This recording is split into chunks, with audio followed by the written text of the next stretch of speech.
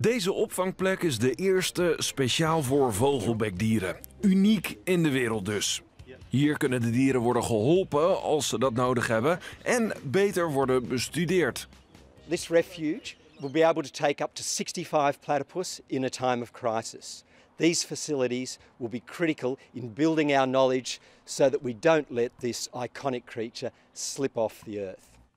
Vogelbekdieren leven in het oosten van Australië en op het eiland Tasmanië. Hoeveel er precies zijn is niet bekend. Waarschijnlijk zwemmen er nog zo'n 10 tot 100.000 rond. Dat klinkt misschien als veel, maar dat is het niet. De dieren zien er apart uit. Ze hebben een brede snavel, een dikke staart en een soort zwemvliezen tussen de tenen. En ze hebben nog iets aparts.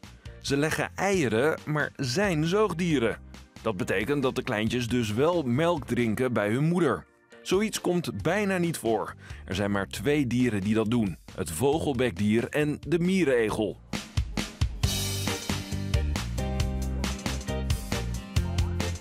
Er waren al weinig vogelbekdieren, maar door de vele grote bosbranden die de afgelopen jaren in Australië waren, gaat het nu nog slechter met het dier.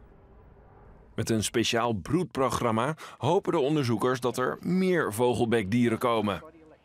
It'll give us a chance to really learn about what sort of environments they like and what is most likely to encourage them to breed. Breeding of platypus in Australia is something that no one has cracked, but the reality is we don't understand it enough and we need to do a lot of work on it. Het dier plant zich dus niet makkelijk voort. Door meer onderzoek te doen, hopen de wetenschappers de vogelbekdieren daar een beetje bij te kunnen gaan helpen.